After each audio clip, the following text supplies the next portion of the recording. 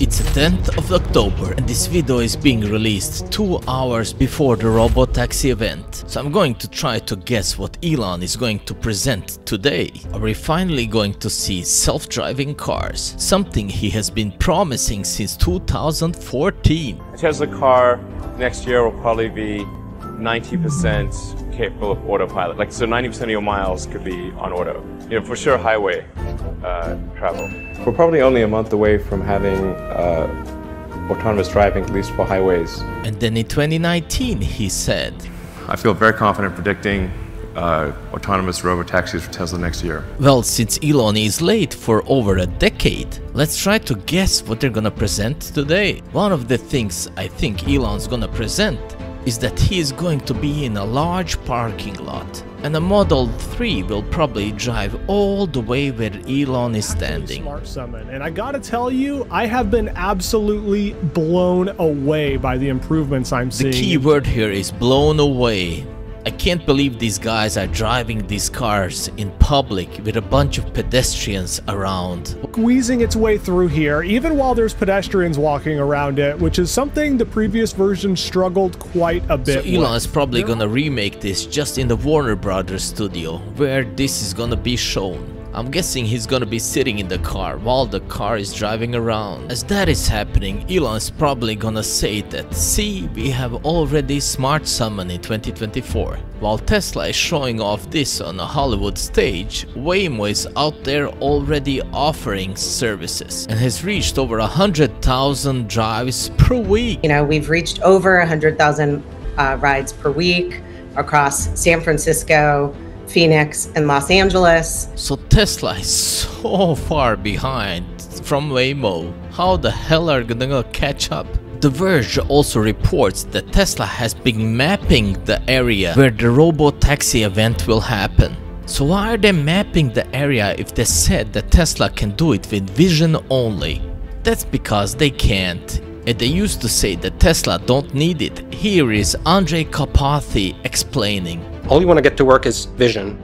All the resources are on it, and you're building out a data engine, and you're actually making forward progress because that is the the um, sensor with the most bandwidth, the most constraints on the world, and you're investing fully into that, and you can make that extremely good. So if that's true, why are they mapping the area where they will present Robotaxi? Doesn't look like it's going so well. And they need additional sensors and more data. You know why I think they have to map the area? It's because Google Maps isn't perfect everywhere and it makes mistakes. Like on this video that I found online, where a U-turn is not allowed, but on the map it's telling him to take a U-turn. This is why Waymo mapped everything and put in so many sensors so you can see three fields ahead of it. to three football fields in any direction held around it in milliseconds to a high degree of accuracy. The system calculates the predicted future behavior for each relevant agent in the scene. Then, with a strong foundation derived from artificial intelligence and machine learning algorithms, the Waymo driver crunches all that data. So Waymo is doing all of that just to keep the safety on top. How is Tesla gonna compete with this? Yet there's more. learn as it goes, is trained and tested on scenarios that it's never seen before, and can differentiate safe and comfortable driving behaviors from hazardous and uncomfortable ones. Waymo is just adding layers and layers of safety so the car travels around our complicated cities. Once the Waymo driver has determined the path to take, our advanced motion control systems allow for smooth acceleration and braking on hilly streets, or managing bumper to bumper traffic with safe and natural driving movements. Google Maps is not perfect. And this is what Tesla is relying on. And since AI is not intelligent, you have to map the areas. Exactly what they figured out in 2024. Something Waymo knew long time ago. I think this debate is uh, always like slightly confusing to me because it seems like the actual debate should be about like, do you have the fleet or not? That's like the really important thing about whether you can achieve a really good functioning of an AI system at this scale. So data collection systems. Yeah, do you have a fleet or not is significantly more important whether you have LiDAR or not. It's just another sensor. So if LiDAR is just another sensor, why did Tesla buy over 2 million worth of LiDAR sensor in 2021? So is Tesla doing now what Waymo is doing? While Elon said in 2019 that Tesla has everything to achieve full self-driving. all cars being produced have the have all the hardware necessary, compute and otherwise, for full self-driving. After he said this, he went out and bought LiDAR and was the biggest customer of Luminar. This article is to 2024. I'll say that again. All Tesla cars being produced right now have everything necessary for full self-driving. All you need to do is improve the software. And He even doubled down on the bullshit. And what did Elon say about LiDAR in 2019? LiDAR is a fool's errand, and anyone relying on LiDAR is doomed. Doomed. Expensive sensors that are unnecessary. It's like having a whole bunch of expensive appendices. Like one appendix is bad, now they want to put a whole bunch of them. That's ridiculous. Yes, it's ridiculous. And then he becomes the biggest customer from Luminar. LiDAR is doomed. Doomed. Expensive sensors that are unnecessary. You can't make this stuff up. And people in the comment section are telling me I'm a hater. Relying on LiDAR is doomed. Doomed. Yes, I'm just a hater and LiDAR is doomed. The thing that's, I think, a very powerful sustainable advantage for us is the fleet. Nobody has the fleet. So they have a gigantic fleet that need mapping before it can drive. So if they're so sure that vision will work, why are they mapping the areas?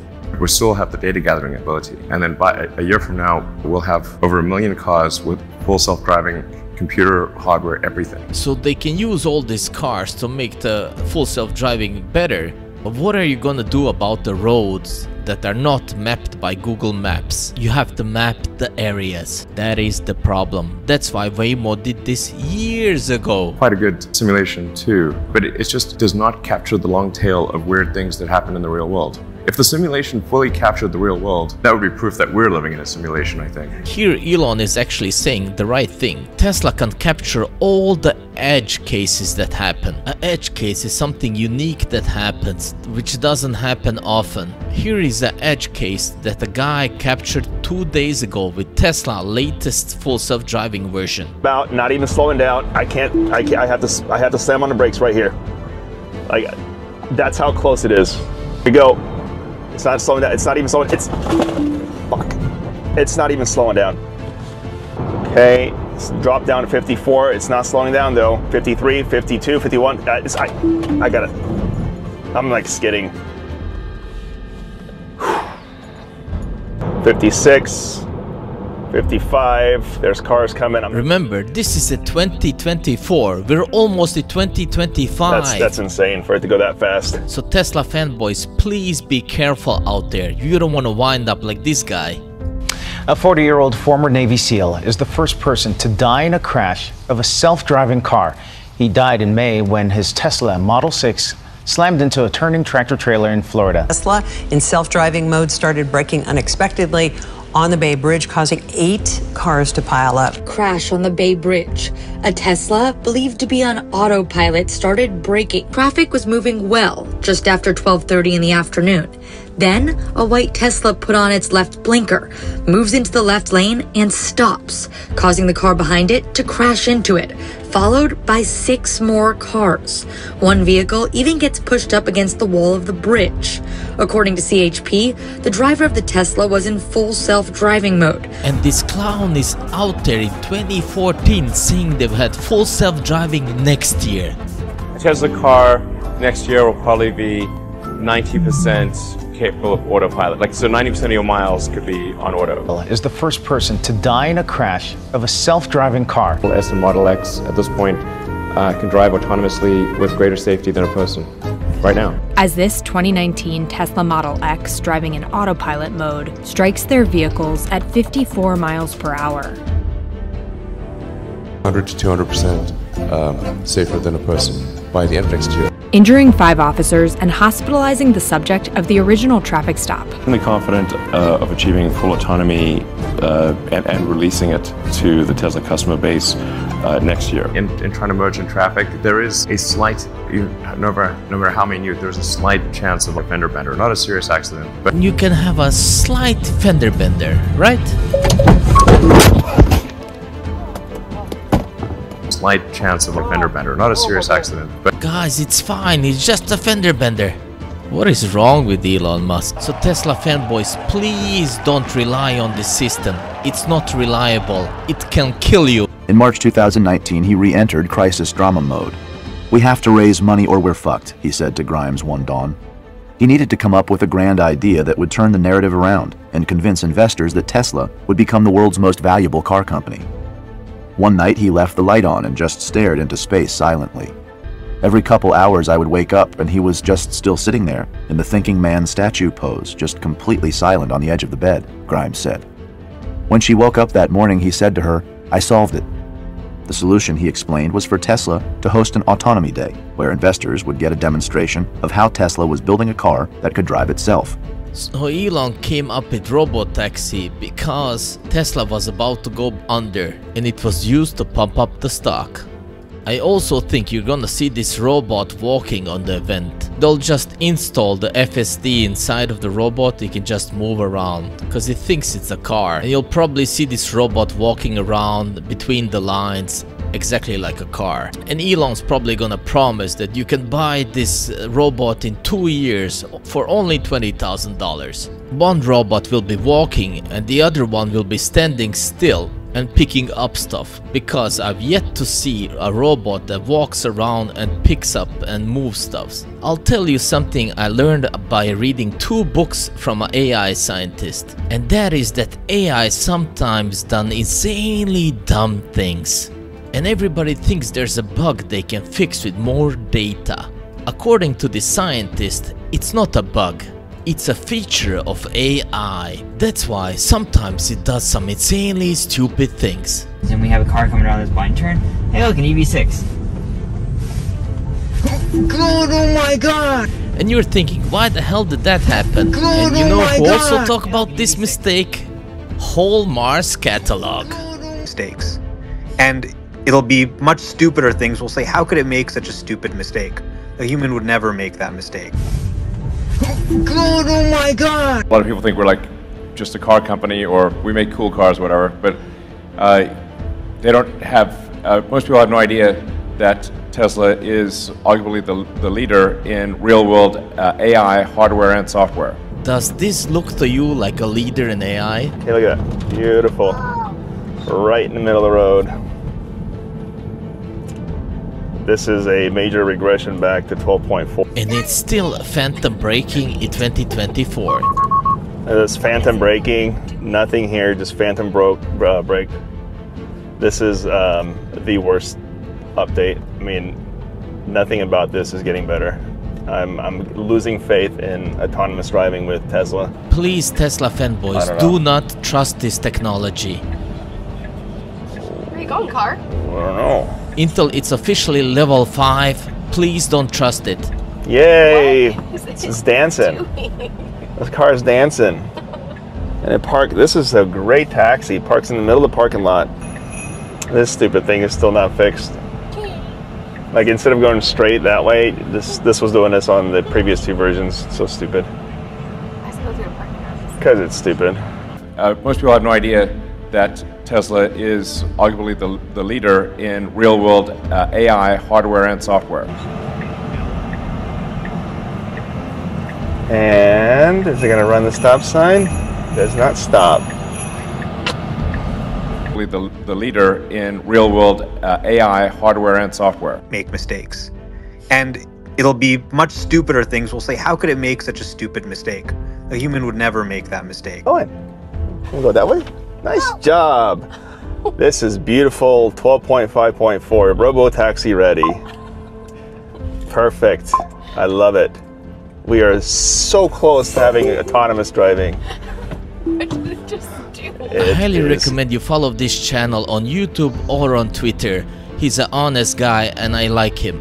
He doesn't lie like Omar does. So if Elon and Tesla is unlucky with AI, you can see some insane mistakes in a few hours on the Robotaxi event. So these are my guesses of what we're gonna see. It's kinda funny they're showing this off at Warner Bros. Studio while Waymo is driving around in cities. You know, we've reached over 100,000 uh, rides per week across San Francisco, Phoenix, and Los Angeles. And I wonder if Waymo is going to succeed with robot taxis because of the edge cases and the mistakes that happen. Emo! They turned. No! Oh wow. All right, so this video was taken Friday in Arizona. Uh, two women say that they were driving when a Waymo car came into their lane after it made a turn. Uh, the women say that they were worried about a head on collision, so they got out of the way. They say the driverless car just kept going. If a person made that mistake where it's like they're driving down the wrong side of the road, I don't think you should have your license, you know?